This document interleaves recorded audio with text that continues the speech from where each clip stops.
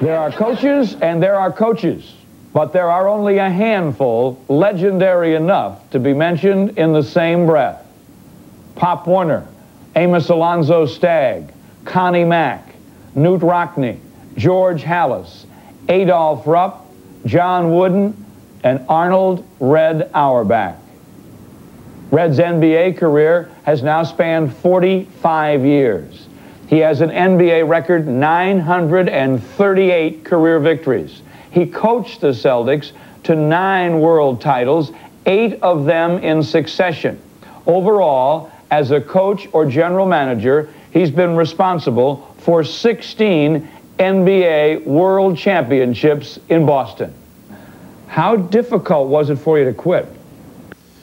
Well, I projected a year in advance. I told, uh, I made a statement that uh, this is going to be my last year.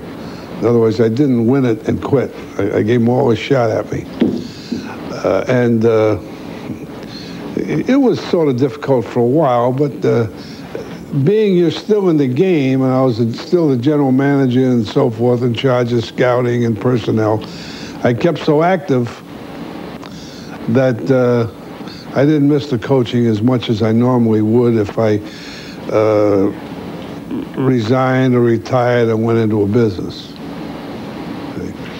As a matter of fact, when I coached years ago, we didn't have any assistants. We didn't have any scouts. Uh, I look back and I laugh uh, whenever the guys complain.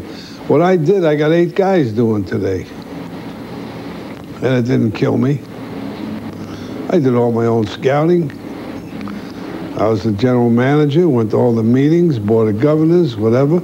No assistant coaches, no videotapes, no movies, no nothing. It had to be up in your head. It wasn't easy, but it was a lot of fun. Your teams were great, fast break teams. There are teams now that have success, uh, such as the Detroit Pistons, dictating tempo in the game. Were you ever slowed down by teams that tried to slow you down? Well, it's not easy to force you into tempo if you get your rebound and go, because uh, what happens, they hold the ball and they try to slow the tempo because of the way they play offense. And the only thing you can do then is just be aggressive and make them make moves, you know, by pressing them and so forth. But a lot of people say uh, such and such a team is a great defensive team, whether it be college or, or professional. That's not always so.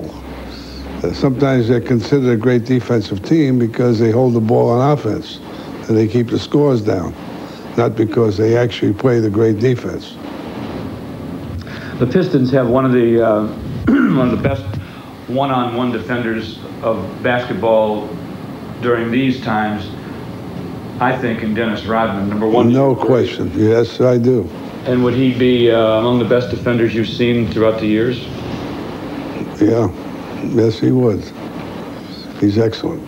Who's the best defensive player ever? Is it Bill Russell? Oh, no question. Uh, he changed the whole game. He, I mean, when he's in the game, uh, nobody driving in. He used to funnel guys into him, and he just look at him, you know, go, you know, that type of thing. Coach, nobody but nobody did more for professional basketball than Coach Red Auerbach. Thanks so much for joining us.